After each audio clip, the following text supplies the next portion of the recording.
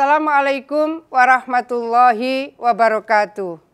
Saya Khofifa Indar Parawansa, Gubernur Jawa Timur, menyampaikan selamat atas wisuda kelas 6 angkatan ke-9 dan wisuda tahfiz keempat SD Muhammadiyah GKB 2 Gersik Berlian School di tahun pelajaran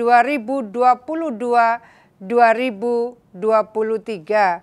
Semoga seluruh proses pendidikan yang berlangsung di SD Muhammadiyah 2 GKB Gersik akan mengantarkan putra-putri didiknya menjadi putra-putri yang soleh soliha, sukses, dan kelak akan memberikan dedikasi terbaiknya untuk agama, bangsa, dan negara. Nasru minallah wa fathun qarib wa mu'minin. Assalamualaikum warahmatullahi wabarakatuh.